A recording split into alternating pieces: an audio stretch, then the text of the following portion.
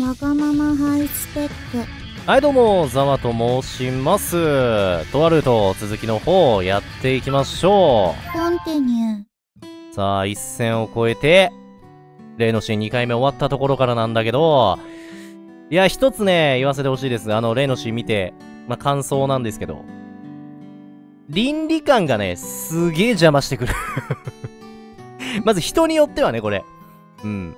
もうすごいこう、兄弟、まあ、実刑、実米と、する、こう、背徳感をね、楽しめる人。まあ、二次元だからね、別に関係ないんで、そこら辺。まあ、楽しめる人はいいんですけど、やっぱ見てて、ちゃんと兄弟なのよ。もう会話が。会話が、もう、恋人のそれでもあるんだけど、ちゃんと兄弟なのよ。すごい背徳的だね。倫理が、俺の中の倫理がね、なかなかね、阻んできたね。ああ。まあ、ぜひとも皆さん、あの、見たい人も、すげえめっちゃいいシーンだったから、あのーちゃんと見ていただければなと思います。買ってね。じゃあ見て、見ていきましょう。いつしか上がり始めた幸せな寝息を聞きながら、俺も静かに意識を手放したのだった。あのーピロートークの1万円めっちゃいいんで。見せないけど。見せないけどな。見せられねえから。6月26。この本はここでいいのかな？おう。とは雑誌は捨てちゃっていいの？父さん、なんか眠そうなのか？うんふんそうきたか。無分きたか。なるほどね。ほら部屋の掃除してあげてるのに無視しないのいいよくつろいでてそんなのほっとけばお兄ちゃんが勝手にやるしお兄ちゃんがな。さすがに部屋はアンタッチャブルなものが多いから掃除は私担当って言ってなかったっけ？いいのいいのそういうのもういいんだよな、なんでもな。そうなの？使用済みのパンツとかポケットに入れられちゃうよ？いいのいいいのいいいんだね、それも。それもいいんだね。の？男ってそういうとこあるからねしょうがないよね、まあそうか。まあ恋人ならしょうがないか。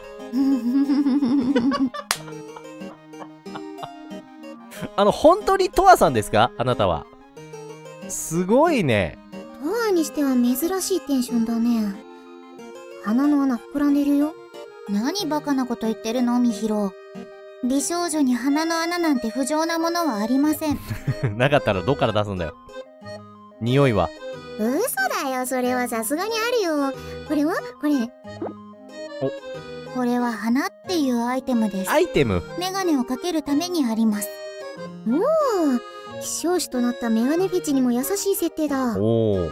ていうかトアの花って丸っこくて可愛いね。なぜ？なぜ？丸っこくて可愛いねで、ポニポニで、ニュフフはなぜ？おお鬱陶しがらない。さてはご機嫌だね。あー、もうご機嫌になるとそれすらも楽しめちゃうんだな。全然そんなことないよ またなんかプログラム関係で巨万の富が流れ込んできたの？ごめん、ちょっとあの、このテンションの差にさ、俺もういちいち笑っちゃう。お金なんてどうでもいいよもう。寝転がってても一生食べていけるくらい持ってるしそっか。そこに幸せまで入ってきたからな。大切なものっていうのはねチミそういうものじゃないんだよそういうのじゃないか。おううざいテンションださてと。ネットの巡回も一段落したしお兄ちゃんでも呼んでこよっかな。お兄ちゃんでもな。先輩呼んで何するの？別に。どうせ構って欲しがってるだろうから。あれで？二人って前からそんなべったりな感じだったっけ？あー、構って欲しがってる。過去自分が構って欲しいか。こんなんだよあそう親友であるところの私に隠し事なんて承知しないよえ、これさ、周りどうなるんだろうな。どう思うんだろうな。まあでも、みひろさんとかはまあ、受け入れる。てかみんな受け入れてくれるんだろうけど、最終的に。すげえびっくりするだろうな。え？っていう。どんな些細なことでもあなたの身に何か変わったことがあったなら教えて誰よりも先に知りたいのまったく私の親友はヤンデレだね全然大したことじゃないんだけどなうーん。まあなんていうかさお兄ちゃんと付き合うことになったってだけなんだそんなことかそんなことなのよ。んうんうんちょちょちょ、何それどういうこと？知らない？お月あい。お付き合い。お私の記憶が確かなら、手をつないで歩いたり、チューとかする、あれですかうい、ん、まあそれ以上もね、あるね。もっとすごいこともします。と、もっとね。あと先輩が？もっと上だ。実際に経験しちゃえばなんてことないよ。大人の女だ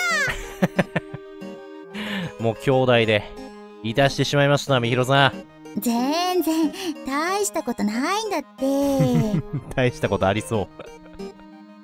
もうだってもう、全然違うもんね、テンションが。トアのことが好きなのは知ってたけど、うん。まさかガチの交際に発展するとは。好きなのが知ってたんだ。なんだ、やっぱり出ちゃってた？お兄ちゃん昔から私をものにする気満々だったみたいでさ。え？妹としても恋人としても続婚ラブだ。みたいなこと言ってくるんだよね。昔から、まあ、えっ、ー、と、うん、昔から、その、女性として好きだったみたいな感じでは言ってなかったぞ。トワさん。それ聞いちゃうと、犯罪臭が半端じゃないよ。もうトワさんなんかお花畑になっちゃってる。ほんとだよ。妹は妹であるだけで最高に萌えだ。うん。どんなとはも愛してる。とかね切。り取ってるねもう全部切り取ってるね前後の分、もう、なしにして。困るわー。ああいうの。嬉しすぎて。なんて滑らかな語り口。メロメロってやつだね。惚れられちゃったのが運の尽きってところかな。そっか。まあまあまあ、うん。どうとでもなるよ。恋人って言ってもたまにすごいことするくらいで、うん。基本的には今までとそんなに変わってないし、たまにすごいことね。聞き流すことを許さないって感じのすごいことしてるアピールだね。あんな変態を好きになる子なんて他にいないだろうし、うん。仕方ないから面倒見てあげるつもり。ツンデレだ。何このツンデレの定型文？お、おおめでとう。めでたいとかそういうのじゃないんだってば。めっちゃ喋るやん、トワさん。もう、みひろさん、呆れちゃってるよ、これ。早いか遅いかの違いで、うん。どうせいつかこうなってたんだろうし。それじゃあ私、お兄ちゃん呼んでくるから。どうぞ。ごめんね。お兄ちゃんは私なしじゃ正気を保つことすらできない哀れな生き物だから、うん。ついでにお菓子ももらってこよっと。相手なしじゃいられないって、どっちもどっちだよね、それ。どっちもどっちですね。そういう意味では、うん、ハッピーエンドかな。お。みひろさん。みひろさんはなんか、白紙持った、なんか、こうきくんへの思いとか、そういうのあんのかね？ちょわかんないけど、今の段階では。新シリーズの構想も一段落して、ようやく一息つくことが許されたこの週末。みひろが遊びに来てるのは知ってたので、部屋でラノベ読んで、のんびり至福の時を過ごしていたわけだが。あら、おお全身絵だ。珍しい。この引き絵。全身っていうか、まあ、引き絵だな。足までいってないけど。みひろさん。みひろさん、すごいね。これ、並んじゃダメだね、これ。並べちゃうとすごいね、これ。差がね。これは厳しい。めっちゃ見られてる。えぐるようなこの視線だけで、みひろが何を知ったのか想像がつく。お前やったなと。これはただの世間話ですけど、はい。低新婚が禁止になったのって近年なんですようね。中世までは普通にあったみたいですよ。特にヨーロッパの方では。その世間話、あまり興味ないかな。そういう意味では人類の歴史は兄弟愛が作ってきたってことかな。まあ、でもそういうのもなきにしもあらずだな。だいぶスケールが飛躍したな、おい。ただの世間話ですよ。うん。太ももを崩して女の子座りしていたみひろが、膝を立てて俺の肩をポンポン叩いてくる。私は側室でも平気ですから。殿。おい、やめろ。勝手に断らないでよ。食の充実が保証されるって意味だよ。いいんだ。もういいんだ。制裁だったら何でもいいんだな。なるほど。兄の本気の説教が欲しいんだな。そんなこと言って、私のお尻を叩きたいだけでしょ。エロいんだから。叩かれたいの？お前の全部が好きだみたいなこと言っちゃった後で厳しい態度とってもしまりませんよ。まあでもそれはそうか。どうやらよっぽど詳細に説明済みらしい。安心してください先輩。拳を固めてみひろは勢いよく立ち上がる。ルールなんてものは人々が社会のもと円滑かつ健やかに暮らしやすくするためにあるものです。うん。もしそうならないならルールの方が間違ってるんです。あの同性婚のなんかあれとかまあいろいろあるけどね。世の中にはまだまだ。うーん、まあ、どうなっていくんでしょうか。おおその理屈だと銀行を襲っても許されるな。社会の下で円滑に暮らすためって前置きしてるじゃないですか。おバカさんですね。そうだね。そうだよ。誰にも迷惑かけなければ何やってもいいってあのみひろさんからお墨付きをいただいたんだよ。どのみひろさんだ。マジかよ。心強え投げやりを装いながらも実は結構本気で嬉しかったりもする。あーだから認めてくれたというかね。受け入れてくれたというか。えー、マジっすか？みたいな。ガチで引いて距離取られちゃうと嫌だもんな。みひろは応援してくれるんだな。世間の荒波をものともせずにこれからも3人で生きていきましょうね。お前たちのそれはどこまでが冗談なんだ？冗談？えいつか会長とのことで焼き餅焼いていたのは何だったんだ？妹よ。確かに。別腹か？親友は別腹なのか？そんなどうでもいい話よりゲームしようよ、ゲーム。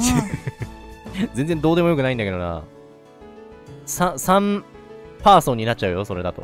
お兄ちゃんの制作活動に付き合わされてせっかくのレトロクソゲー全然触れてないんだから。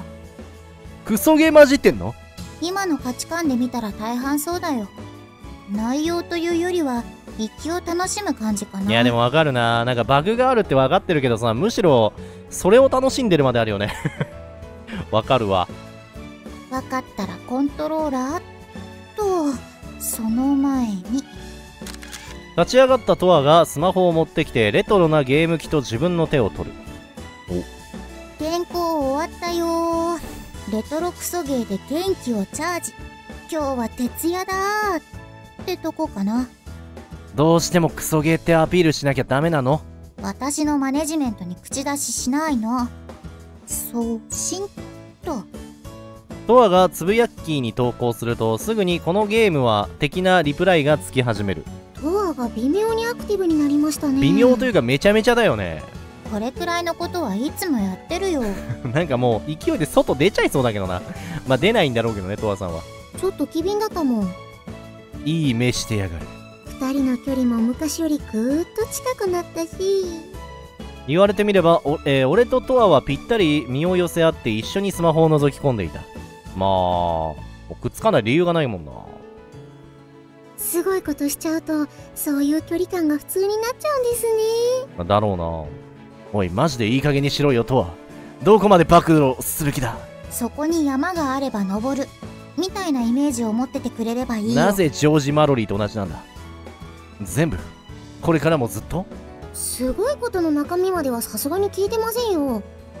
ぼかそうがあまり変わらない気もするが照れなどみじんも見せずにみひろは下ペロしてえー親指まで立てていたりする。でどんなすごいことしたんですか？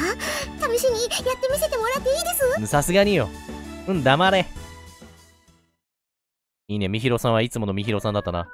まあこういう感じでむしろ良かったよな。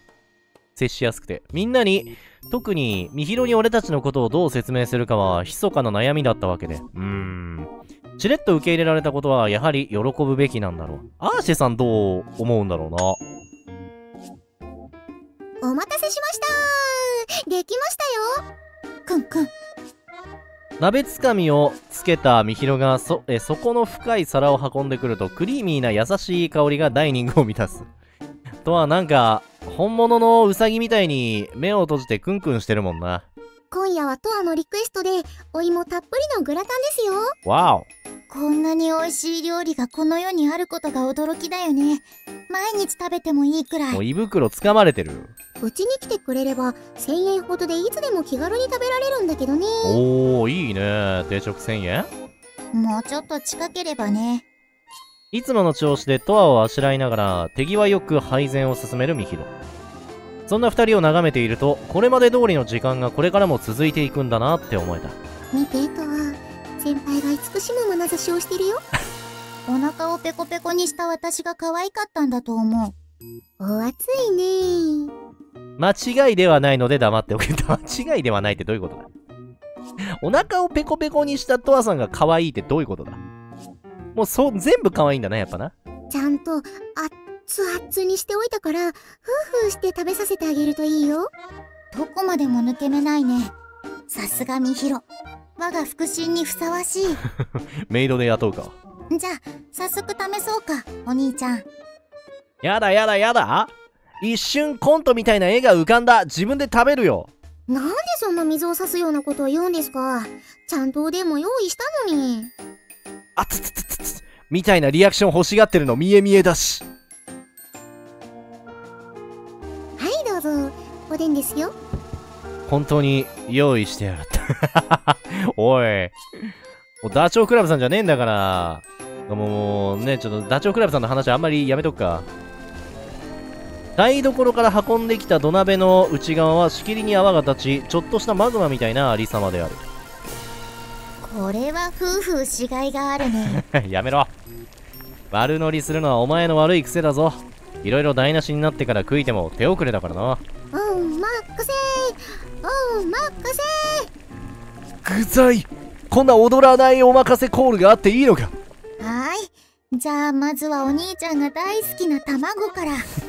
だからそれもうだからダチョウ倶楽部さんなのよそれ。あろうことかふおざなりにふーっとした卵をまっすぐ俺の口元に近づけてくる。そしてふふふごごごごご自分で必死にフーフーしてかぶりついた卵はギリギリでなんとか食べられる温度に下がっていた。よかったな。わー文字通り熱々ってやつですね。それが言いたかっただけかい。もがごごごごごご今まで通り過ぎるのもいかがなものか。せっかくだから私にもふーふーってやつを試してよ。興味を失ったらしいトアは箸をポイッと捨てて大きく口を開ける。グラタンね。芋たっぷりなとこはいはい。おマジでうまそうだな。チーズの伸びがたまらふーふーは？ん上がってるってば。うー。狙ったな。これをやれと。ちょっとした前座の余興は ともかく、なんで余興？みひろの料理は相変わらず何を食っても美味しくて、あっという間に食事が終わってしまった。よかったな。満腹満腹この店の料理はなかなかのものだシェフを呼べ シェフでございます シェフひ、卑屈だな。完全にチップ期待してんな。君を買おうおー。この小切手に好きな金額を書きたまえくくくくかっこいいそんなこと一度でも言われたいしそれ以上に言ってみたい行ってみたいのね。楽しい晩餐である。楽しいかこれ？と、もうこんな時間か。洗い物はやっとくわ。みひろも帰るなら送ってくぞ。ああ今日は泊まっていくんで平気ですそっか。トアが無理言ったんじゃないか？悪いな。料理とかいつも押し付けて。心配しなくても大丈夫だよ金で型をつけるから金？そうですよ大抵のことはお金で何度でもなりますからね マジで金払ってんのこれ。お前たちの友情って何？長年見つめてきて、未だにわからんわ。そうですね。気兼ねなしで大丈夫な関係うーとでも言いましょうか。思っていた以上に二人の絆は強いってことなんだろうか？あそっかそういうことか。もしかしなくても私がお泊まりすると邪魔になっちゃいますかね。全くそんなこと。を。3人で一緒に寝る感じでも平気ですよちゃんと全裸待機しておきます 言い方な。含みの持たせ方やめて。ちょっとこう、ガチの芝居っぽい感じの。俺は部屋の鍵を閉めておこもりするから、決して訪ねてくるな。そうですか？あ私は寝たふりしてるんで催された時は部屋のドアを2回ノックして合図してくださいね催された。行かないからぐっすり寝ててくれていいぞ。どうしてもだったら川の字でもいいよ私が真ん中ねお父さん真ん中。さっきそれ断ったよな。適当に話を打ち切って空いた皿の片付けを始める。洗い物は俺がやるから、二人はもう引っ込んでていいぞ。うーん。なんか思ってたよりそっけない。案外こんなものだよ。好きならもっと色々出てくるものなんだよ、普通。先輩も、あれで内心には渦巻くものがあるに決まってるね。おお。ですよね、先輩。トアにさせたいこととか、してほしいこととかあるでしょ？それあるよなん？なんだろうな。強いて言えば、紐みたいな水着ですか？ねえよ。何も着るなってことですか？まあまあ、何も着ない方がいいかもな。君は実にバカだな。君は実にバカだな。でもさっき何か思いついた顔はしてたよね。全部ひらがなで。あー、まあ、料理でも作ってくれたらグッとくるかもなって言いかけたんだ。まあ、さすがにか。まず食欲ってわけですね。あ、でも確かに、トマさんの料理？まあまあ、ちょっと、危なっかしいけど、大丈夫かなっていう感じはあるけど、まあ食ってみたいよね、逆にね。その言い方、イラっとくるな。ん待ってくださいね。それって、私を側室として認めるって意味ですか？え？みひろに作ってくれとは言ってないよね。え感謝はしてるけどさ。だってよ、と。何が？料理？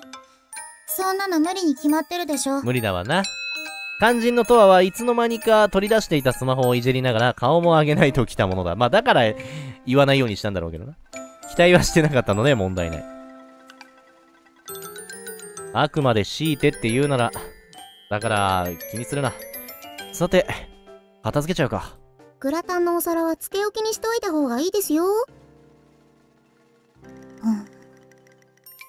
うん。ボアさん？入るよ。おお、来たんだ。おお、どうした時間はちょうど夜の0時を回るくらいか。おお、そんな、時間に？だらだらと寝転がって漫画を読んでいた俺は振り返りもせずに返事を、返事する。この辺りは兄弟で恋人の来やすさってところで。ぐだってるね。私とみひろの甘美なる乙女の共演に参戦するチャンスを伺ってるかと思ったのに。甘美なる乙女の共演ね。もう今までの人生で十分すぎるほど参戦してきたからな。一緒にお風呂入った時も、お兄ちゃんを意識してエッチな声を張り上げてたのに。そうだったの味を知れ、味を。またまた聞いてないふりしちゃって。お兄ちゃんなんだから覗いてないわけないじゃん。ごまかさなくてもいいのに。根拠のない言いがかりはやめろ。というか、こいつらは覗かれてる前提でエロ声張り上げて遊んでたのが、子女かな？まあいいや。それは一応そういうことにしておいてあげるとして。お兄ちゃん明日、何の予定もないよね。お？断定的だな。なんか用事でもあるのか？うん。秋葉行ってきて。はい、これ。行ってきて？開いていた漫画の上に落とされたメモにはびっしりと文字が書き込まれていた。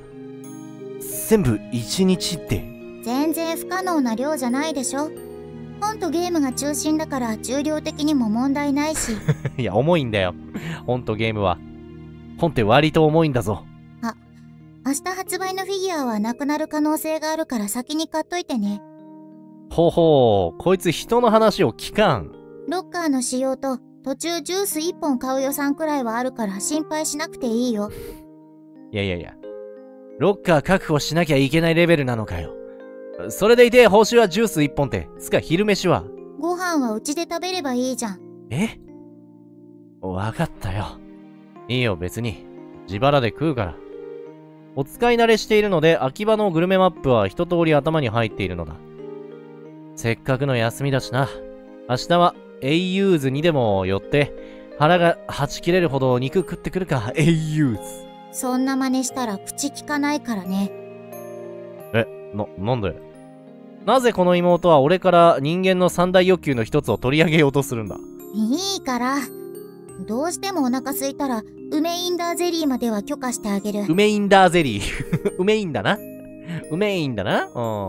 わかった余計なことしたら口聞かないからね。これは、飯作って待ってくれてるパターンか？わかったけどさ。よろしく。なんだったんだ？俺が風呂を覗かなかったから拗ねてるんだろうか？なんだそれ？だとしたらやべえぞ。わけわかんねえけどな。お。日曜。ということで、翌日日曜日。なぜか昼飯を禁止されたので、たらふく朝飯を食い、回るル、え、巡るルートも、えー頭に叩き込んで準備万端。めまいがするほどの買い物量を命じられても、心はひどく穏やかだ。俺ほどのプロになると容易には取り乱さない。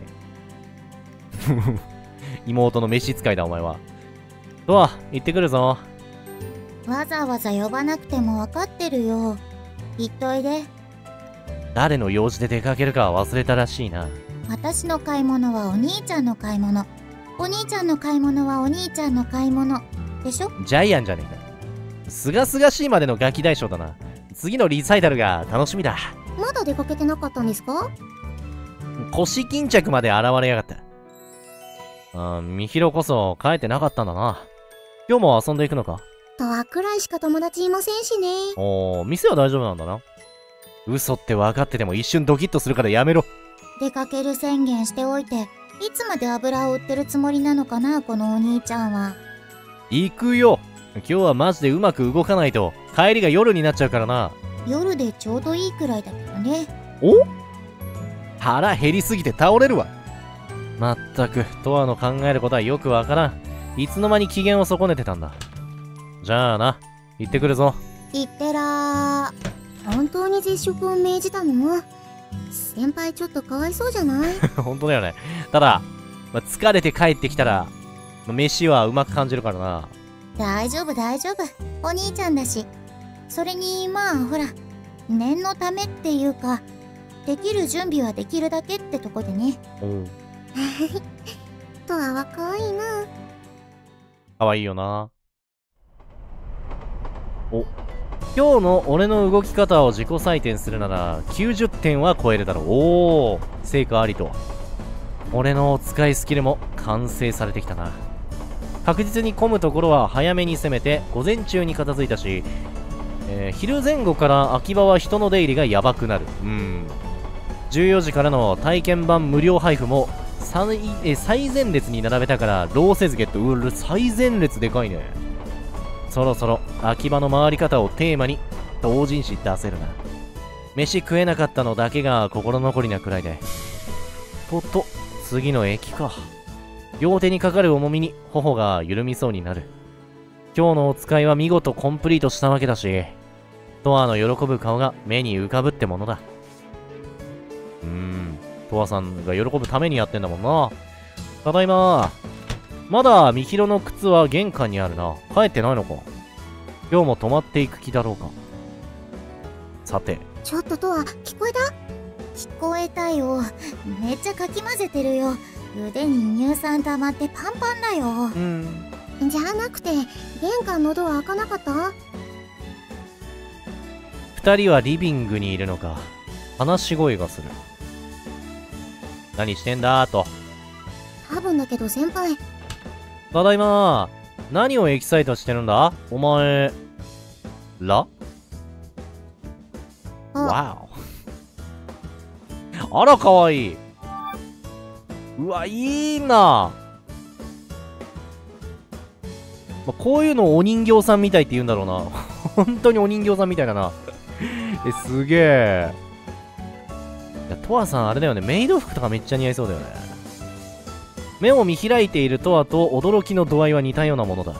あれはボールの中で何かかき混ぜてるのか？見慣れないエプロンまでつけて。完全にロリカワ若奥様だ。ほら、やっぱり先輩だ。気持ち悪いこと言ったもん。ねいや、待て、誤解だ。本心だけど、そういうことじゃないというか。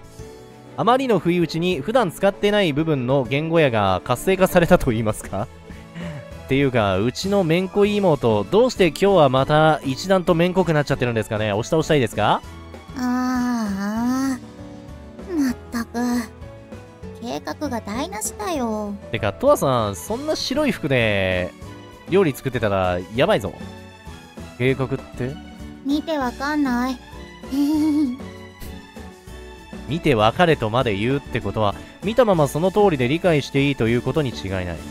すなわち、とはプラスエプロンかける台所イコール。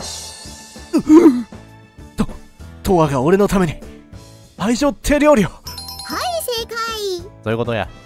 よっしゃー両手を上げて、待っているみひろと熱いハイタッチを交わす。うわこれは、素晴らしいね。これ何作ってんの？いちごえ肉かこれ。肉だ。いちごみたいな色合いだけど。お兄ちゃんがいつも以上におかしくなったやりましたね先輩言ってみるものです勇気の勝利ですよ昨日のあれか。ふーんとか聞き流してたくせに、しっかりその気になってたとは。なんて可愛い妹だ。今日一日の苦労が報われるでしょ？お昼言われた通り我慢してきましたか？我慢したし、我慢してよかったと、心から思ってる。空腹は最高のスパイスってやつですよ。少しでも美味しく初めての手料理を食べてほしいという乙女心テンション上がりすぎてやばい。今すぐ抱きしめたい。いや、それだけじゃない。押し倒したい。ジュニアの誕生ももうすぐですねジュニアやめて。ジュニア、やめて、みひろ。うるさいしなんだこれも。キャッキャウフフと盛り上がる俺たちへのツッコミはびっくりするほど弱々しい。顔真っ赤だし、もじもじしてるし、押し倒したい。これもう完全に結婚するしかないわ。そういうパターンだわ。じゃあ、日本を出よう、もうもはや。どこまで寄ったか忘れちゃったじゃんはしゃぎすぎお兄ちゃんのバカ戻るよだだいたいなんでこんなに早いの？本当に頼んだものちゃんと買ってきた？一つの漏れもないぞ。先輩の買い物スキルを過小評価したのがまずかったね。トラップでも仕掛けておくんだった。やめて。物理トラップ。玄関に入ってすぐのところに剣山が仕掛けられていても最終的には笑顔に戻れただろ 本当に？はあ。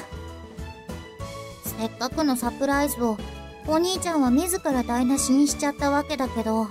あとちょっとで支度できたのにね。いやでももうこのこの状況がサプライズよなそれもちょっとは残念だけど俺はこのタイミングで帰ってこれてよかったと思ってるよじゃなきゃドアのエプロン姿とかどんなに頑張ってくれてたとかとかさ見られなかったと思うからあくれてたかとかかおのれ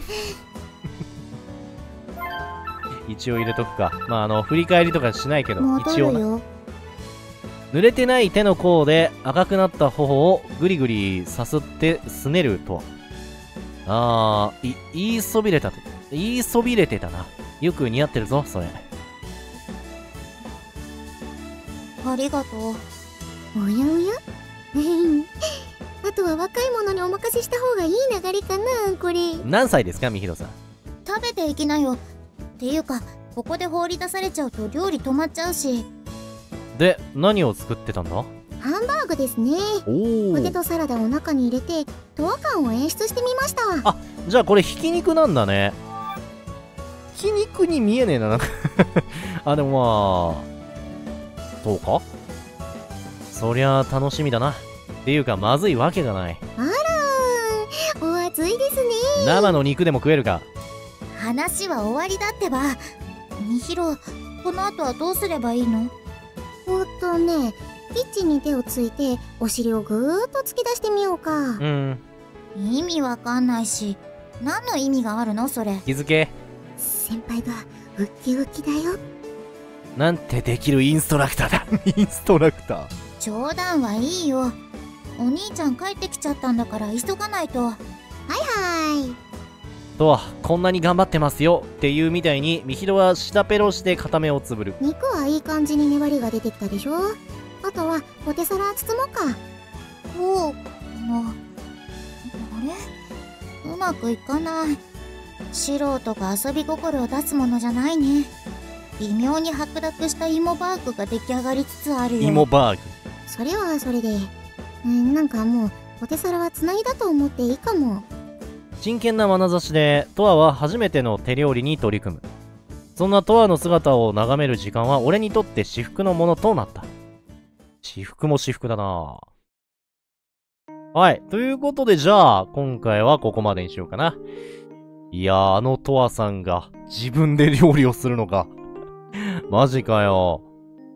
ちょっとね、おってなったけどね。あのー、あの、いや、俺料理してほしいんだけど、みたいなね。